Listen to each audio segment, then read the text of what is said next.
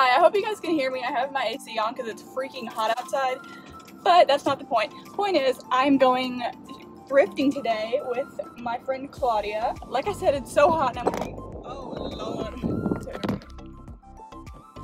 Oh gosh. I don't know if people have like a way to hold their phone. Mm, that's ugly.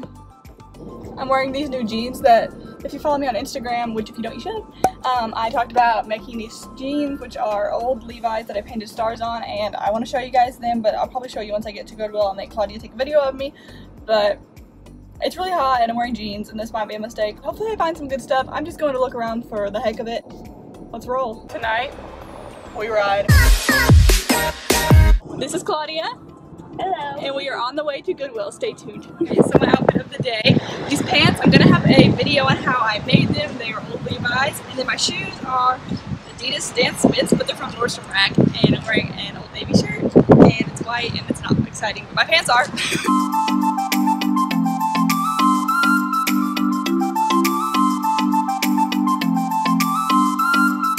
look at this wedding dress they had and it's got a bow at the top and it's just so simple. I love it. At this. Somebody could seriously pop off in this. What else we got? Cute, size 8. I'm gonna get that. These weren't my size, but I thought they were super cute little like flip-flop numbers that lace up, and those are new from Target, as well as these wedges, which are also not my size and pretty high, but super cute, and I love the denim. Okay, so I found one thing there, which I'm gonna show you guys later, but we're going to another Goodwill now.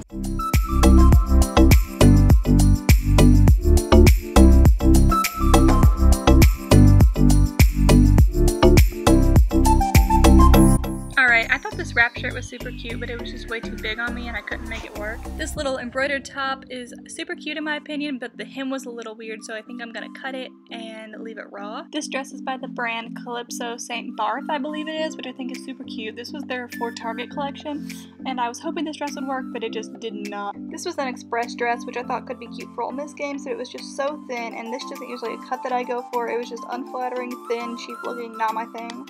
Then this little flouncy skirt was new from Target. I thought it was a cute shape, but I'm not a big black and white girl, and it was just super thin. But this is like a vintage pair of shorts, but it looks like a skirt, and I guess you could call it a skirt.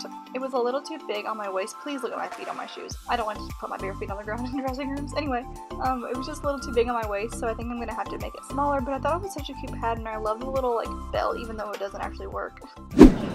All right, at our first stop, I got a pair of shoes which if you watch my other thrift haul, you know I've never bought shoes at the thrift store except for tennis shoes. This is my first pair of sandals, but they look honestly like they've never even been worn, so I got them. And they are the Dolce Vita brand. Ah, I think they're cute. Little platform yeah, guys. perfect for summer. Yup. And they were $6, which honestly a little pricey. Wasn't expecting that, but it's fine. My second stop, I got this little embroidered top number, and it has pretty roughly sleeves, but the hem of it was kind of unflattering, so I'm thinking honestly I just want to cut it and leave it raw and then wear it with like white flares or something. That was 350 and then I got this scarf which I never wear scarves like this but it was so cute white and then it has hot pink um, tassels and embroidery and it, it's from Loft originally and it was 250 I got these crazy shorts that look like a skirt and it's like super 70s and 60s I don't even know. They're really fun. I think I have to either employ my mom or figure out how to make these a little smaller like an inch less around or an inch smaller around the waist and then they'd fit perfectly so stay tuned. We'll see what happens with that. All right so now we're at chipotle. Thank you god. Bye